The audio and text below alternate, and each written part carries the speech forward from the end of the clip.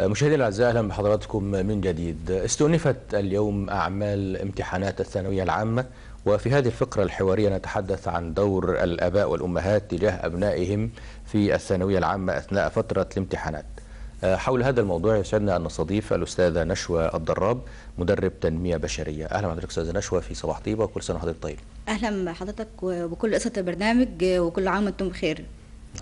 يعني النهارده بدأ أو استؤنفت يعني اعمال امتحانات الثانوية العامة بعد أجازة عيد الأضحى المبارك وبدأوا النهارده في أداء امتحاناتهم اللي هي تكون مضافة للمجموع.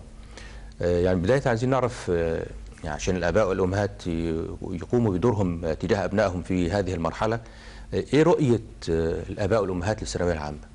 شايفينها إزاي هم؟ اولا في البداية هو الثانوية العامة في كل منزل مصري بتسبب رعب رب الأباء اولا يعني اللي هو الأسرة قبل الطالب. نعم. هو الطالب بيكون يعني شايف آه الحاجة الامتحان ده صعب أو كده بس أنا ما زودش القلق بتاعه. يعني دلوقتي رعب الأباء الأباء والأمهات بينعكس على الابناء للأسف للأسف. آه أنا عندي ابني ثانوية عامة أنا سنة بتكون من قبلها كمان يعني قبل سنة. يعني لسه الطالب يكون طالع من آخر امتحان مثلا في ثانية ثانوي وإيه وعايز وعايز بس الأم عايزاه أو عايز عايزاها آه تذاكر من دلوقتي. طب لا ما ينفعش. أنا ما, ما ينفعش يعني أعنفها أو أعنفه. لازم آه هو مستقبل. بس ما ما اديش التفكير السلبي ما اديش الضغط النفسي. ما أنا لما اولد اللي عنده الضغط النفسي فهو كده بينعكس عليه.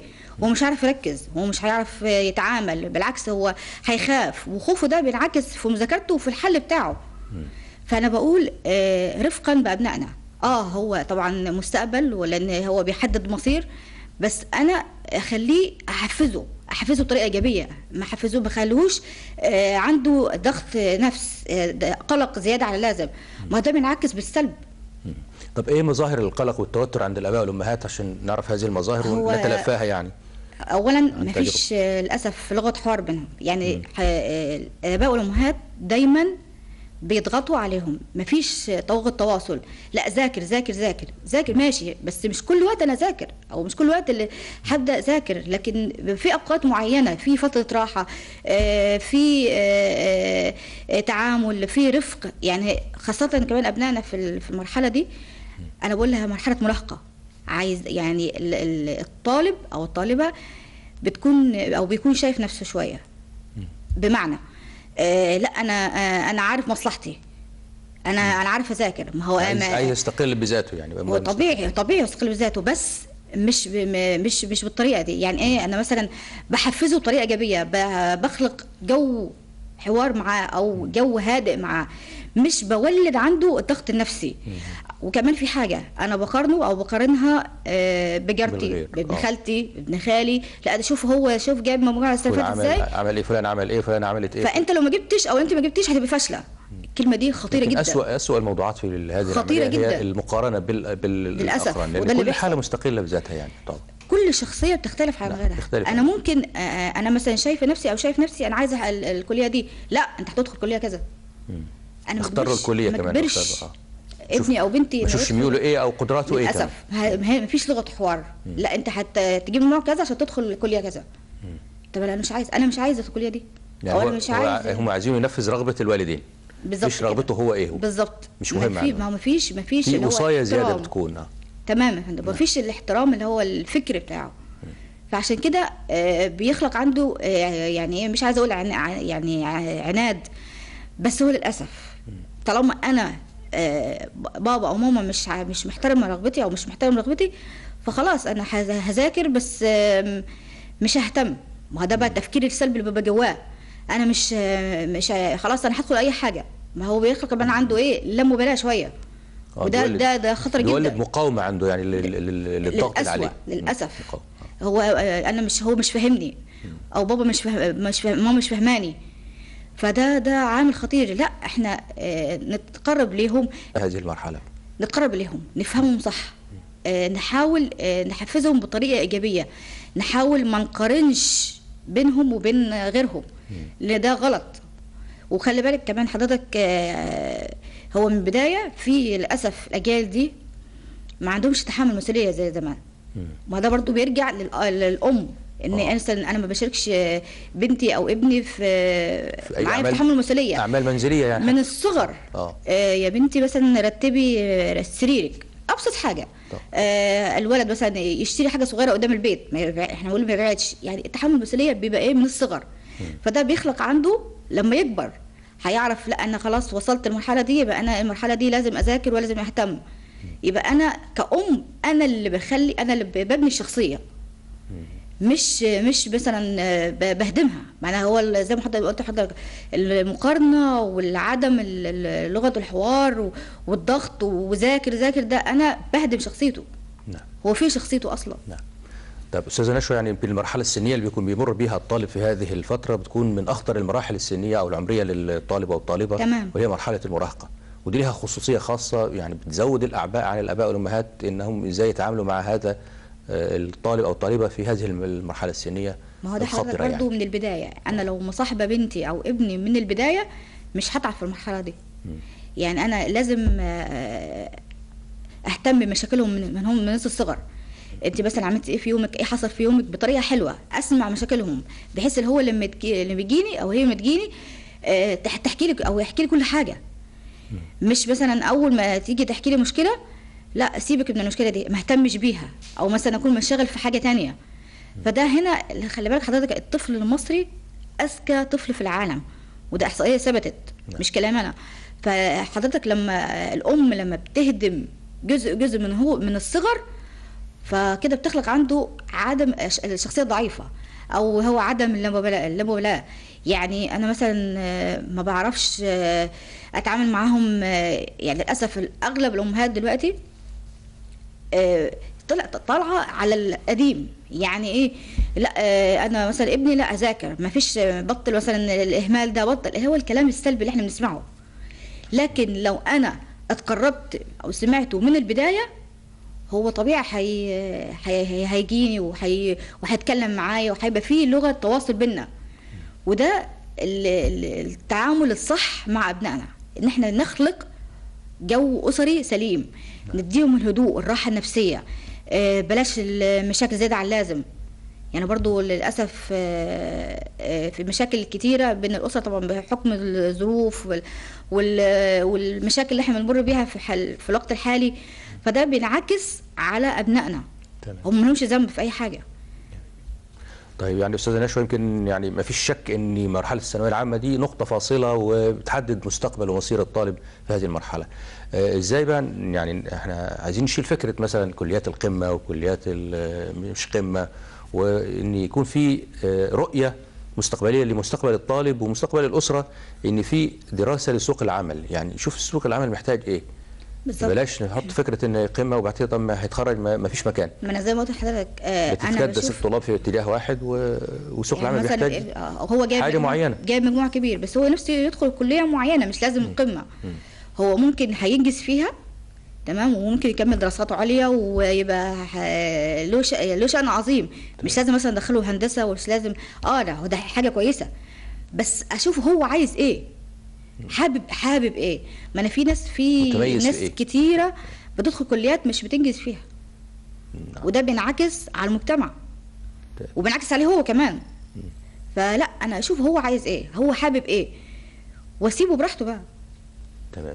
طيب يعني في اتجاه الحديث يعني شايفين إحنا اتجاه البرمجيات والتحول الرقمنة آه ليه مستقبل يعني أفضل في اتجاه كبير لهذا الاتجاه وفي اهتمام من الدولة بهذا الموضوع اهتمام عالمي حتى حلوة حديثة آه. كتيرة في الموضوع ده آه ومش قاصرة على كليات هندسة بس يعني في كليات آه في تكنولوجيا ومعلومات في حاجات حلوة كتيره آه. كتيرة وده آه فكر الجيل الحديث اللي هو جيل الكمبيوتر وجيل الإنترنت آه ولذلك كل هو في بيخترع فيه آه.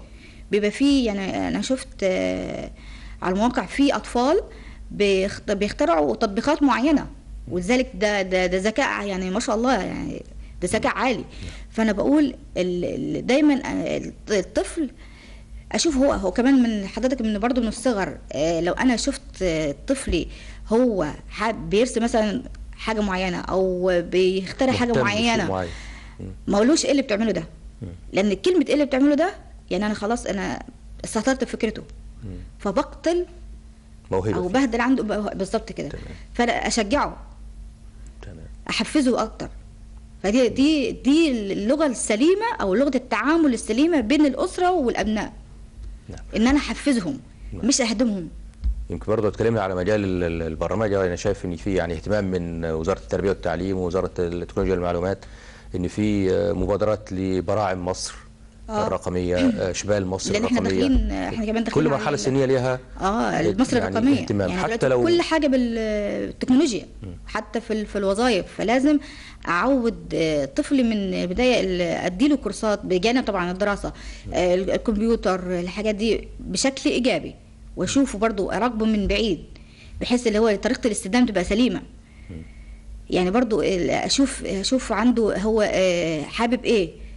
عاي عاي يعني عايز إيه؟ برضو يعني أشوف أشوف مجال هو يعني دلوقتي حاليا ناس كتيرة بتحب تدخل في هذا المجال. مش لازم طب وهندسة. مش لازم مثلا زراعة أو طاقة كده يعني. دايما بيتجهوا لكليات اللي فيها الحاسب الآلي فيها كمبيوتر. وده مستقبل أفضل.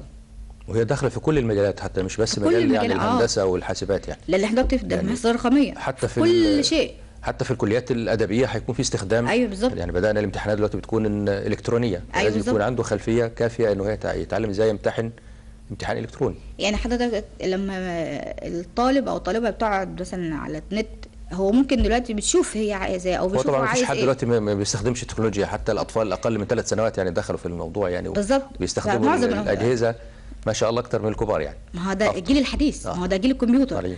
معظم الأمهات بقى للأسف أنت قاعد ليه؟ انت إيه اللي بتعمله ده؟ اللي هو التفكير السلبي. آه هو ما يقعدش 24 ساعة.